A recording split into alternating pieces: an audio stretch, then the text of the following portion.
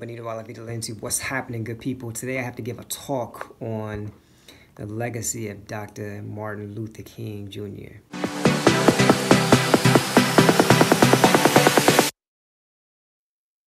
All right, so when we talk about the legacy of Dr. King, I think it's important to start with the introduction that I had to King as a young boy growing up in the city of Chicago. You can't really see from where you're sitting, but this is me right here. And if you look at my classroom, you can see that despite many years after the legacy of King, many years after the civil rights movement, we still have a very segregated space of learning. Now, sure, yes, you have black, you have Latino kids, uh, but in terms of diversity that, that King advocated for in his life, it wasn't quite there yet. We're still working towards that. And every year around this time, my teachers would start by talking about Dr. Martin Luther King. They would talk about his involvement with Rosa Parks and the civil rights movement and the Montgomery bus boycott. Those were the preliminary talks that we had with regards to King and his legacy. And I had those introductions in elementary school, or what you would say primary school here in Antigua, and then also, this is me also here in high school, what you would call secondary school here in Antigua. So the very familiar narrative that came along with Dr. Martin Luther King were his highlights of his bio. Born January 5th, 15th, 1929, graduated from high school at 15, earned his BA in 1948, completed his doctorate in 1953. That is very significant in terms of understanding the, the trajectory of his education, right? To get a doctorate degree, for most people, the average is anywhere between five years and, and 10 years, right? So right after his bachelor's degree, he went straight through to earn his doctorate degree. So that in itself says that, that King and what he represented was a very intellectual standpoint. So he valued, he valued education. That was very much so part of his foundation. And from that education background, we have his role that evolved, right? He was a pastor, Dexter, Dexter Avenue Baptist Church, Montgomery, Alabama, uh, but he also led the very significant and the commemorable Montgomery boycott between 1955 and 1956.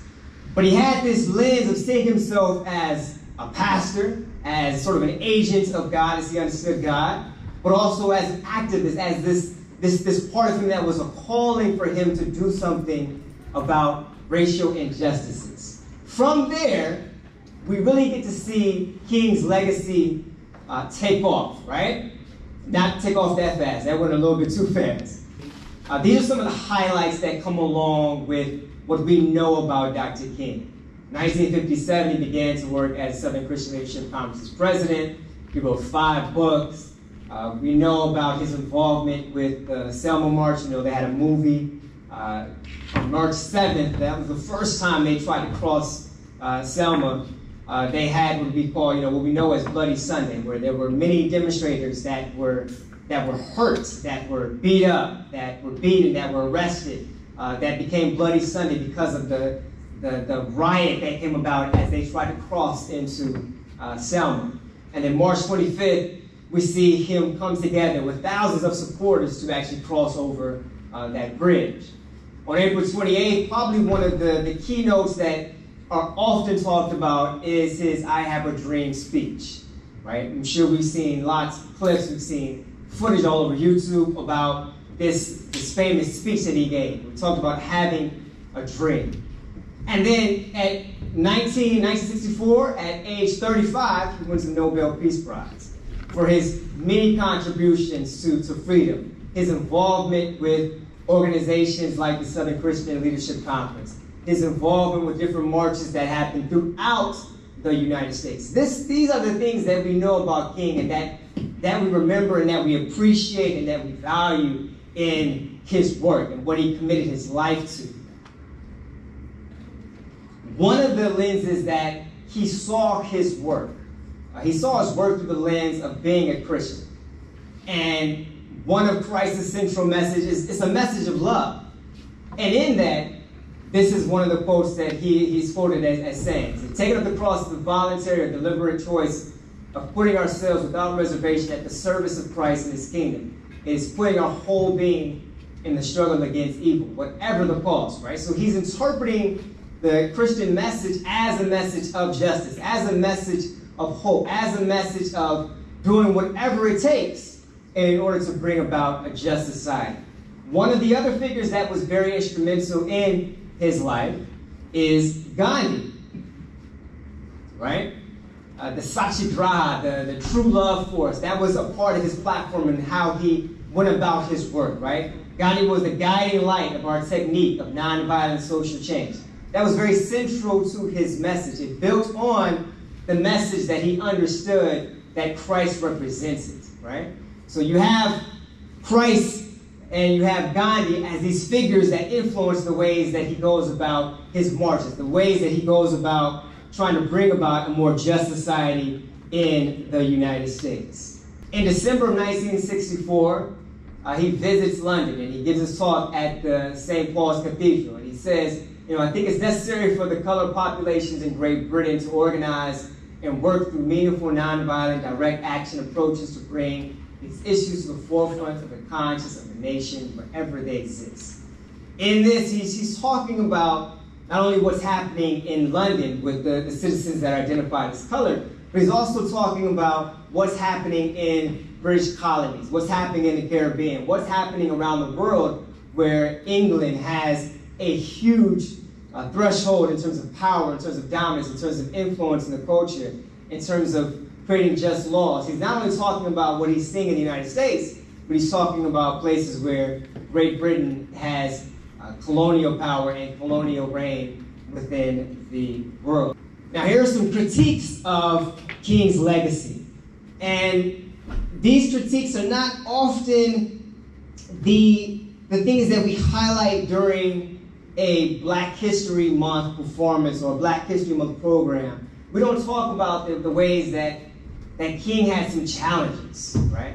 Uh, one of the critiques that he that influenced his life as uh, he was going about these different marches was that you know King spoke to this colorblind ideology. He wanted us to move beyond race, and there's a space and place for it, but that wasn't the space and place for it at the time. I would argue that's still not where we need to be now.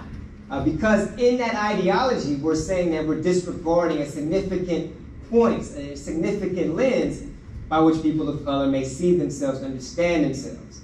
And if you look about the different policies, you look about the different uh, laws, they have this racial lens to it that at times folks said King didn't want to really recognize, or he, he wanted us to look beyond that, when in reality, we have to look through that lens to understand where people are where they are, what, what they're going to do, and how they understand themselves in the world. The other thing that we don't have to talk about with King is that there were many allegations that he had adultery, that he, he committed adultery, that he had these relationships beyond the, the closed doors of the hotel rooms that he stayed in when he visited uh, these different cities to have marches. There was a, uh, a counterintelligence program, the COINTELPRO, led by J. Edgar Hoover, and what they did was they would record his conversations. They would find out this information about these relationships that really contradicted his public persona. We know King as a beacon of love, as, as a beacon of justice. But there was an other side of King that people did not want to talk about, that people were not really uh, happy about. Uh, one of the big critiques, public critiques, was Malcolm X. And he criticized King as saying, you know, he's, he's, he's not really thinking about what's practical. When you think about incidents like Bloody Sunday, where you know people were bitten by dogs, they they were hosed by uh, these these firehouses. I mean, you think about the many different ways in which violence maintained the racial injustices in the United States. When you think about nonviolence, not not responding to that.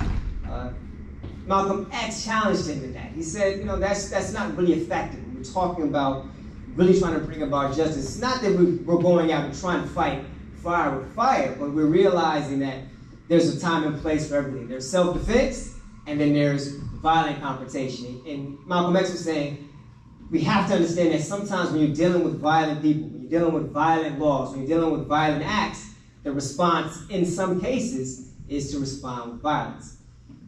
So if we look at King, we talk about his legacy, we often are framed in thinking about him through this lens of racial equality. We think about the image of him as being a part of this I have a dream moment on the, states, uh, the steps of the Washington Monument. Uh, but when we really think and go beyond that, uh, he started off with racial inequality, then he talked about Vietnam, war, and global injustices. And then before he passed away, he had moved on to looking at economic injustices, looking at the ways that uh, people were not being paid properly for their, their work, the conditions they had to work in. Look, he was looking at the ways that economic policy, that it drove the different, different policies and laws that were not just and uh, practiced in terms of trying to create a more equality uh, within the society. Now, when I first got this, this, this, this, this invitation to, to talk about King, it took me back to uh, when I was in graduate school. And it was right around the time Barack Obama was uh, getting into office. And there were a lot of comparisons between Barack Obama and Martin Luther King. And at this point in time, I was leading a poetry set on the campus of the University of Illinois at Chicago, and they asked us to come and talk about King. And so we said, okay, we would do it. It was me and another, another guy who led the open mic sets. And we created this piece called Deferred Dream. And, and part of that was, it was in remembering what King said, right? On Christmas Eve in 1967, he says, I'm the victim of a deferred dream, a blast of hopes, but in spite of that, I close today by saying I still have a dream. So he's recognizing that while he has this dream, this dream of freedom, this dream of liberation, there's still so much more work that has to be done. And even at the height of the Obama election and, and what his, his legacy meant, uh, there were still some challenges that, that, that were with us, that are continue to be with us today. And so I wrote this poem, and it's in my, my latest book where I, I talk about King's dream. And again, this, this piece, it comes out of that, that hype around what Obama would represent in the United States. And so I'm going to share that poem with you now, just to give you an idea of where, where I was at the time in understanding King's dream, but also thinking about, okay, what can we do moving forward as we think about the legacy of Dr. Martin Luther King. So the poem is called King's Dream Deferred. I still have a dream that, that one day these indifferent notions will transcend this ghetto pathology formed by white supremacy, laced with freedom and called democracy. I'm hoping that Obama, Obama will not be a puppet for the powers that be Following his change, I unused the terminology for people who resemble an endemic, epidemic to communities of color, dreams, and in reality. So I shared this poem. I was in graduate school, and after I, I read that poem, the MC of the event and said, whoa, whoa, whoa, whoa, whoa, I hear what you're saying. We still got a lot of work to do, but let's not undermine the legacy of King. And that is not my intention by any means. I want us to understand that King stood for a lot in his lifetime. He marched, he brought about changes, right? The Civil Rights Act, the Voting Rights Act. We, these, are, these are aspects of his legacy. But we also have to realize that there's always, there's always more work to be done. So King was assassinated on April 4th, 1968. There's, there's talk about, okay, was it James Earl Ray or was it someone else? James Earl Ray working in cahoots with the FBI. Uh, James Earl Ray mentioned someone by the name of Raul that was later tracked down. And then there were allegations that there was a Memphis police officer who was like a sharpshooter who all, who did this work in order to to, to kill uh, to kill King.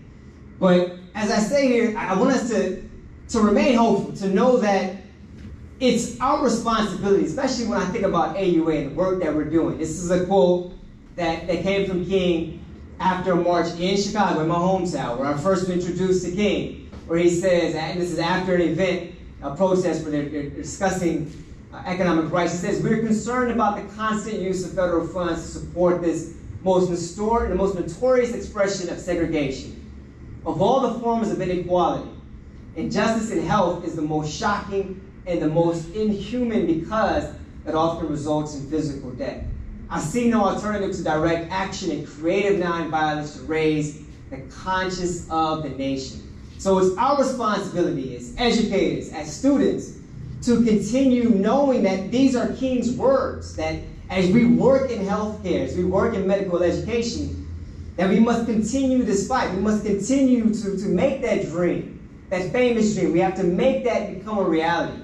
And we do that by doing our best work to become the physicians that are caring, that are looking to, to help people from underserved communities. Because, yes, it's 2023, but that racial divide continues to exist.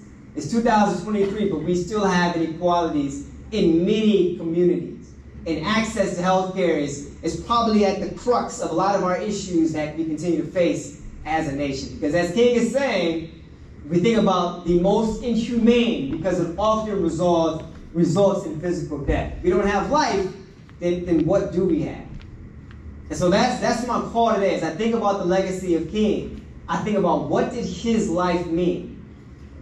Was he perfect? Absolutely not. None of us are perfect. We all make mistakes, right? But he represented this hope, this idea of what freedom and love can be. And that's our goal. That's what we should be striving to, is to continue to work a little bit better every single day to get towards this idea of freedom and love. There will be struggle, there will be challenges, but again, we must continue, continue to, to fight the fight that's going to bring it back, bring about the, the impact and change that we want.